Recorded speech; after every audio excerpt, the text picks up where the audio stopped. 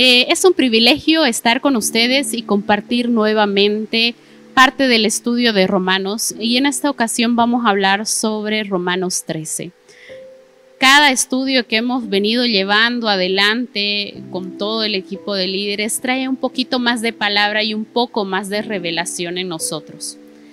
Voy a hacer una pequeña oración para comenzar. Padre Santo, gracias te doy por este tiempo, gracias porque me permites compartir un poco más con aquellos que están a través de la pantalla que puedas tú revelarte a cada uno de ellos en cada una de las cosas que se toca y en todo lo que vamos a ir estudiando. Gracias te doy, Padre, por ese tiempo. En el nombre del Señor Jesús. Amén.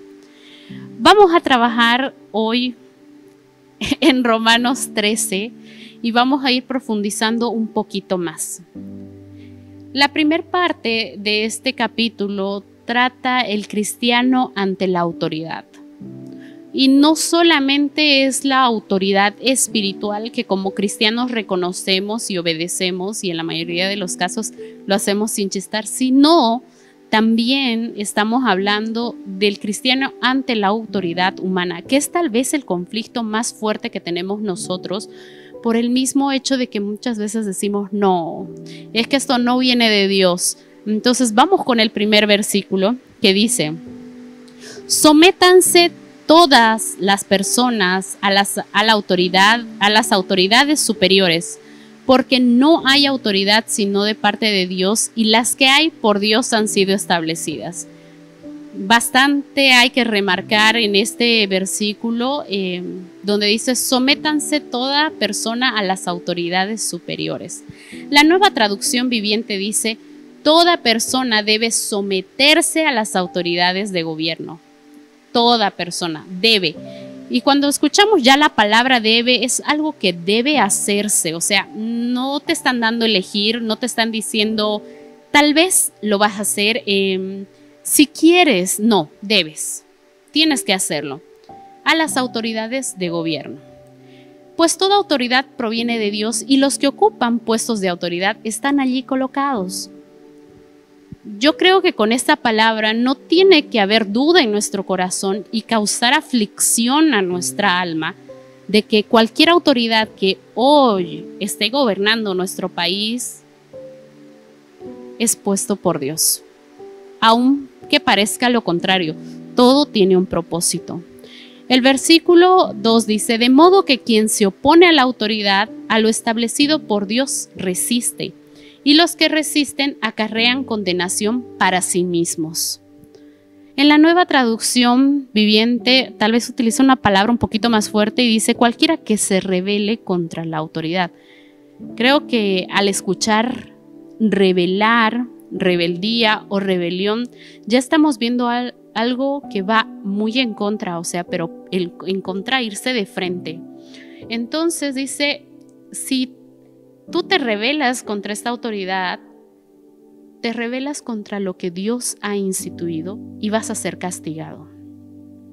Si vas en un coche a 100 kilómetros por hora en una zona donde solo es permitida a 40 kilómetros por hora, ten por seguro que vas a tener una multa. No, pero Dios, yo estaba apurado. No, hay leyes y normas que debemos obedecer que se han hecho para resguardar a todos los que estamos aquí.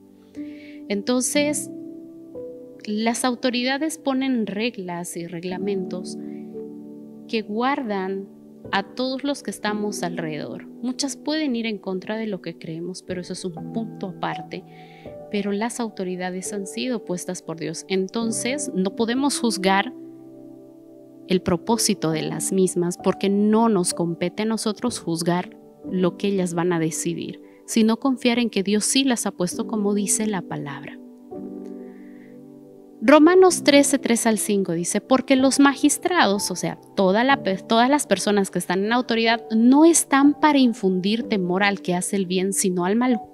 Es como les decía, o sea, si van a 100 en una zona de 40 y ven un policía, tal vez van a decir, no, es que el policía es malo. No, tú estabas rompiendo una regla. Entonces, ¿quién tiene miedo a las autoridades es quien hace cosas malas. Lógicamente es así como debe funcionar. ¿Quieres pues no temer la autoridad? Haz lo bueno y tendrás alabanza por ello. Si tú haces algo bien, es cierto, no es que vayas a 40 y hay un público uh, que te aplaude porque está haciendo a 40 en zona de 40. O hay gente que te aplaude por no robar porque sabes que es malo. No, pero hay otro tipo de alabanza en esto. San Juan 14:23 dice, y vendrán sobre ti todas estas bendiciones y te alcanzarán si oyeres la voz de Dios. La voz de Dios es que hagamos caso a nuestras autoridades. Entonces va a sobrevenir sobre nosotros bien y bendiciones. El versículo 4 de Romanos 13 dice, porque es servidor de Dios para tu bien. ¿A quién se refiere en este momento? A los magistrados. Dice que es servidor de Dios. Pero si haces lo malo, teme, porque no en vano lleva la espada, pues es servidor de Dios, vengador para castigar al que hace lo malo. Por lo cual es necesario estarle sujetos no solo por razón del castigo, sino también por causa de la conciencia. Es por esta razón que nosotros obedecemos lo que las autoridades nos dicen. Por eso obedecemos las leyes que salen. Si hay una ley que ponen y remarca algo, pues la cumplimos, porque queremos bendición para nosotros y para quienes están con nosotros. Primera de Pedro 3:13 dice, ¿y quién es aquel que os podrá hacer daño si vosotros seguís el bien? Si yo hago algo mal y decido hacer el mal, no puedo esperar que las cosas me salgan bien por siempre. Pero si yo hago el bien, no puedo esperar castigo inmerecido por hacer el bien. Entonces dice, ¿quién es aquel que nos podrá hacer daño? las autoridades que están encima de nosotros no van a poder imponer castigo sobre nosotros si nosotros seguimos la ley al pie de la letra. Tal vez me vas a decir, no, es que yo estoy sometido a la autoridad de Dios. Pero aquí en este punto ya hemos llegado y espero que todos hayamos entendido que la autoridad es puesta por Dios. Por tanto, nosotros nos regimos a estas autoridades puestas. No es que Dios se hace, se tapa los ojos y dice, Ay, ya, ya, ya, solo hazme caso a mí y no a los demás, no a los presidentes, no a los jueces, no. Él los ha puesto y todos tienen un propósito. En lo que iba estudiando el capítulo 13, eh, no solamente toca esta parte del cristiano ante la autoridad, sino también toca la parte del pago de tributos. Mm, tal vez es un poco conflictivo eh, para muchos el tema del pago de impuestos. Eh, sé que los impuestos no son fáciles de pagar y los montos que nos imponen no siempre son los que nuestros bolsillos pueden pagar, pero eh, hay algo que hay que dejar en claro. Si seguimos la línea de que debemos respetar la autoridad que Dios impuso, el pago de tributos también es impuesto por ellos. Romanos 13, 6 y 7 dice, pues por, pues por esto pagáis también los tributos, porque son servidores de Dios que atienden continuamente a esto mismo. Y tal vez, yo sé, ahí desde tu salón, tal vez estás diciendo, ay, pero no todos trabajan bien. Es probable. Pero son gente que se dedica a atender estas pequeñas cosas que tú no sacarías. Una ley, una norma. Eh, no es que tú te pondrías a ver cómo se organiza el tráfico, es gente que se dedica específicamente a esto. Entonces parte del pago de tributos va a pagarles a ellos. Y dice, ellos también son servidores de Dios. Y a eso se dedican. Pagad pues a todos lo que debéis, al que tributo, tributo, al que impuesto, impuesto, al que respeto, respeto y al que honra, honra. Entonces no solamente estamos hablando de tributos, de impuestos, sino también estamos hablando de que a quien merece respeto le paguemos con respeto. Eh, si alguien te pide hacer algo, en este caso vamos a ir al nivel de la iglesia, no vuelques los ojos, no dices, ay, otra vuelta yo. Hazlo con amor, hazlo con respeto, con el mismo respeto que te lo están pidiendo. Honra al que honra. Ah, es que ese hermanito no, no merece honra. Todos merecemos honra. No podemos estar en el punto de juzgar y esto lo vamos a tocar un poquito más adelante.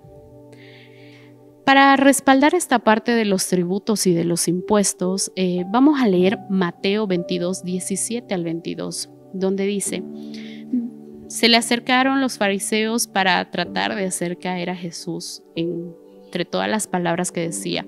Y le dicen, dinos pues, ¿qué te parece? ¿Es lícito dar tributo a César o no?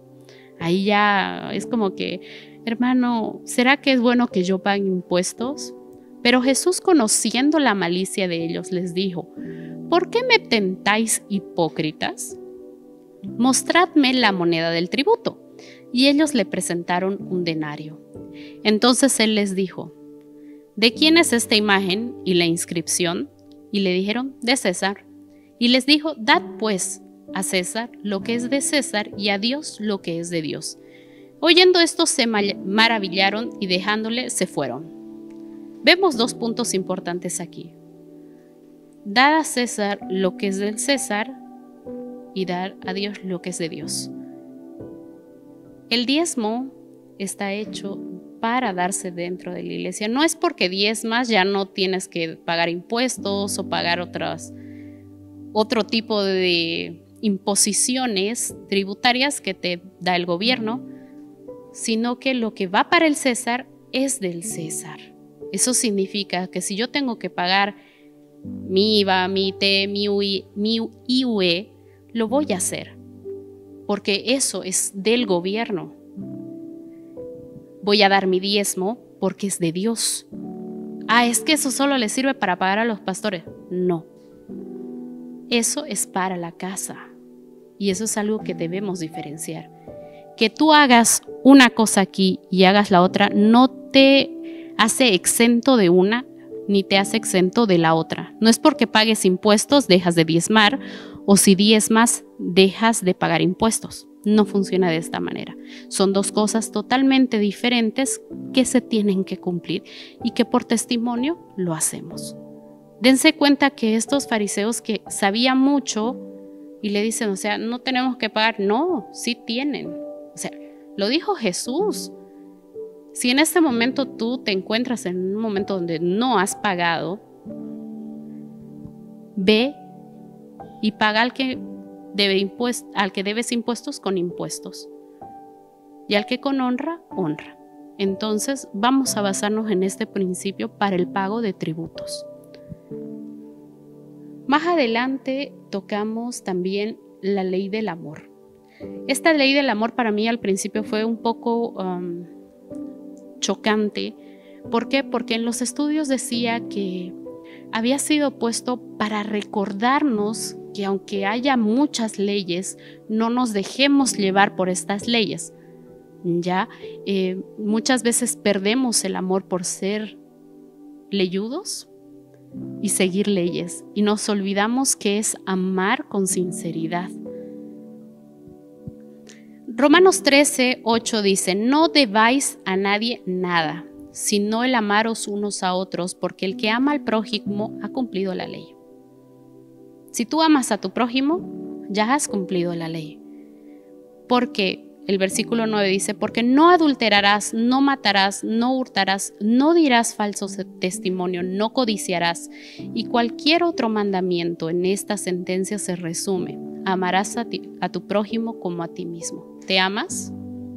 Sí, me amo. ¿Amas a tu prójimo? No, es que no me cae bien. Entonces tienes que revisar si realmente tú te estás amando de manera correcta para amar a los demás. El versículo 10 dice, el amor no hace mal al prójimo, así que el cumplimiento de la ley es el amor. Eh, aquí la palabra toma parte de nosotros y lo refleja en los demás. Eso significa, Si yo me amo, voy a amar a los demás, porque vivimos, estamos en un solo cuerpo. Entonces, no puede mi pie no amar a mi mano porque están en el mismo cuerpo. Si eso pasara y mi corazón dejara de decidir mandar sangre a mi mano, me la tendrían que cortar porque se gangrenaría. Y no pasa. Todo sigue funcionando en armonía. Lo mismo debe pasar con nosotros. Si yo me amo, voy a amar a los demás y voy a querer que ellos sigan fluyendo en el Espíritu, en todo lo que hacen. Mateo 22, 36 al 40 dice, Maestro, ¿cuál es el gran mandamiento en la ley? Jesús le dijo, amarás al Señor tu Dios con todo tu corazón y con toda tu alma y con toda tu mente. Este es el primero y gran mandamiento. Ese es el más importante, ama a Dios. Y el segundo es semejante, o sea, no es que estaba bajándolo de nivel, es semejante. Amarás a tu prójimo como a ti mismo. Si vemos, son dos veces que menciona como a ti mismo. Estos dos mandamientos, de estos dos mandamientos depende toda la ley y los profetas. ¿Eso qué significa? Si no amas a Dios, obviamente estás decidiendo por el camino del mal. Si no amas a tu prójimo, también, porque la ley se cumple por medio de esto. Si yo amo a mi prójimo, no le voy a robar. Si yo amo a mi prójimo, no voy a codiciar sus cosas si se dan cuenta, es, está englobado en este amarás a tu prójimo todos los demás mandamientos. Ahora, ¿amas a tu prójimo? ¿Cómo lo estás amando? Primera de Juan 3, 16 al 18 dice, en esto hemos conocido el amor en que Él puso su vida por nosotros, en este caso Jesús, también nosotros debemos poner nuestras vidas por los hermanos. ¿Pondrías tú tu vida por tu hermano? Pero el que tiene bienes de este mundo y ve a su hermano tener necesidad y cierra contra él su corazón, ¿cómo mora el amor de Dios en él? Hijitos míos, no amemos de palabra ni de lengua, sino de hecho y en verdad. Si no amas a tu prójimo, ¿podrías decir que el amor de Dios está en tu corazón? Si tú le niegas algo a tu hermano que necesita, realmente tienes el amor de Dios en tu corazón, creo que son palabras muy fuertes y deberían llevarnos a hacer una mirada interna a si realmente estamos amando al prójimo como nos amamos a nosotros. Si un día te hace frío, lo primero que haces es ponerte medias. Si tu hermano pasa frío, ¿le darías tus medias? Ay, es que mi comodidad. Ámate como a ti mismo. Yo me pondría medias. Por tanto, yo espero que mi hermano también se las ponga y se las voy a dar, así me falten a mí. Eso es el amor. Gálatas 5, 14 y 15, la nueva traducción viviente, dice, pues toda la ley puede resumirse en un solo mandato.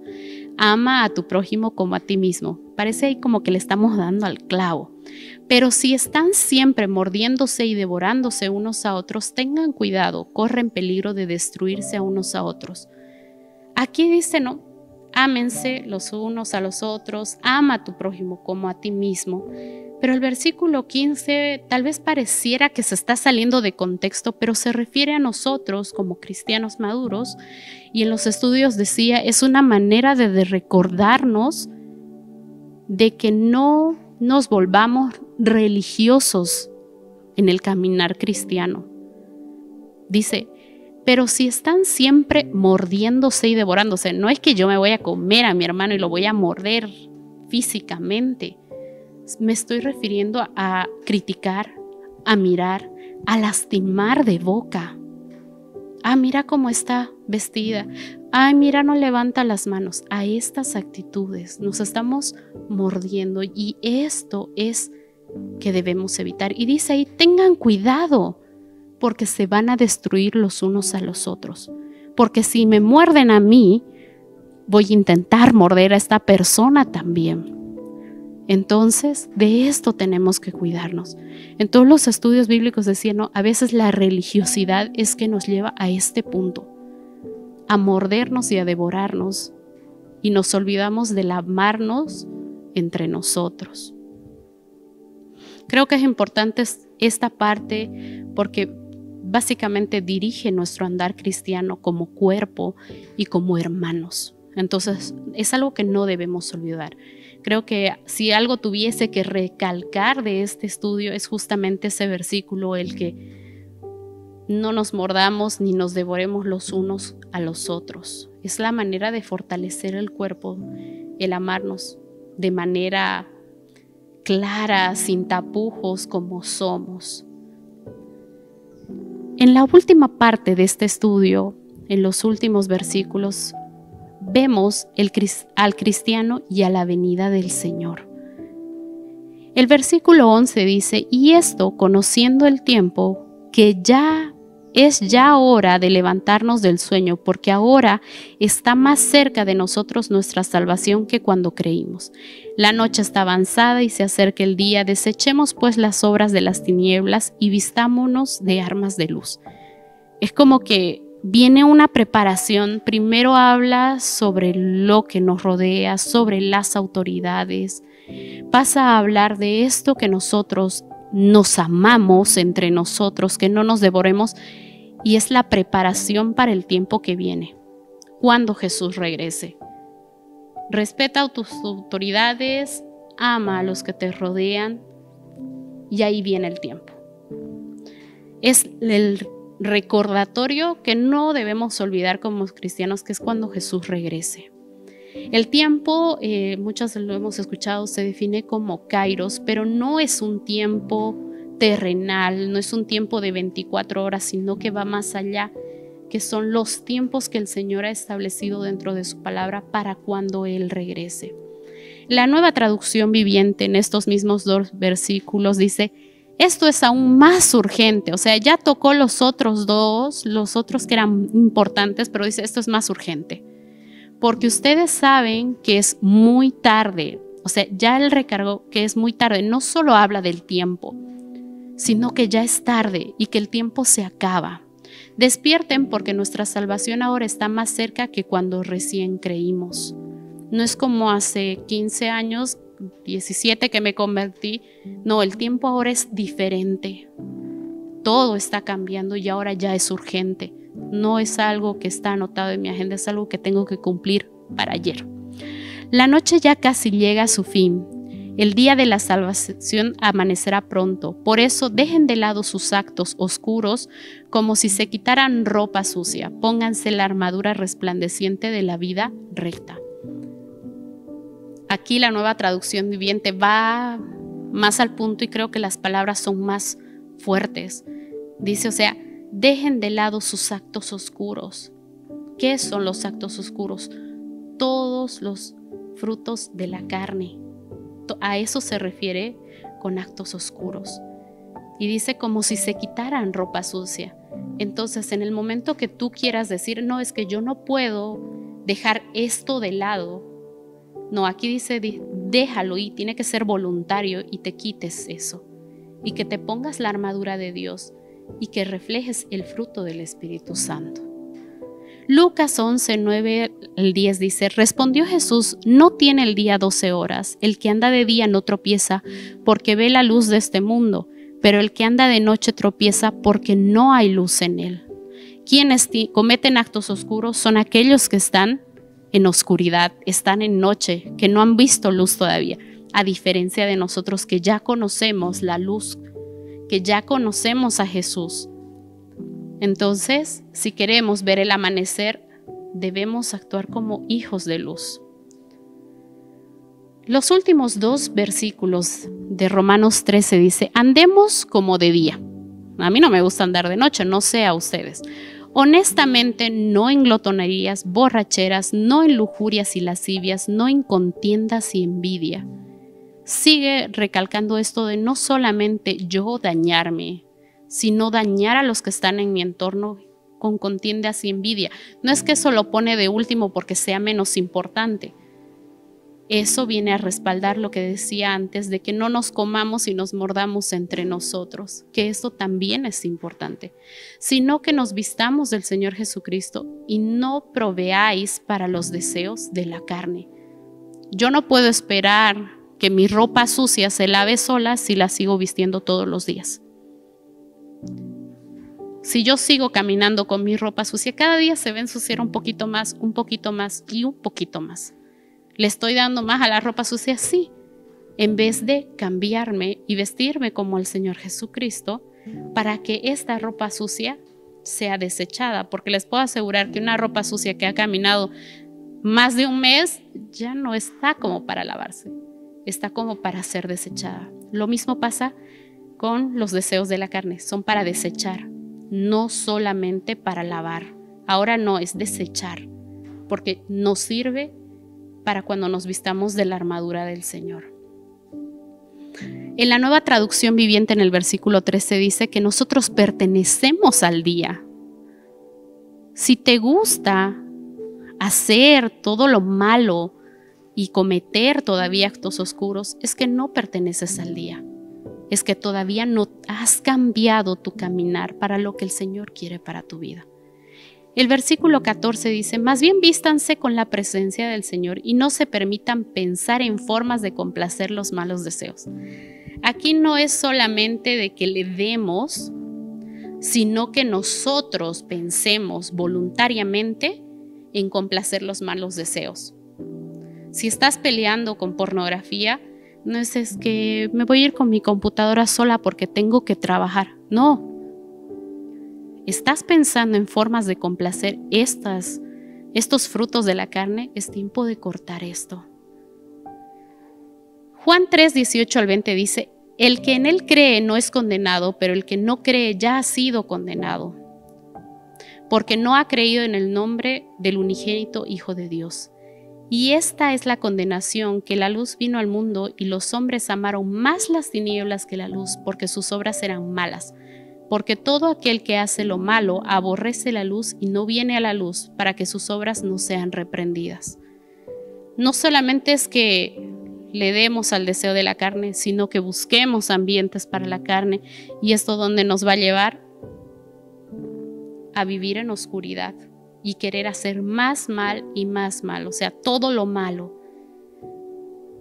Y si hacemos todo lo malo, créame, no van a querer caminar con el Espíritu porque Él va a develar en cada uno de ustedes todos aquellos detalles que son aborrecidos por Él. Y eso nos va a incomodar y nos va a molestar.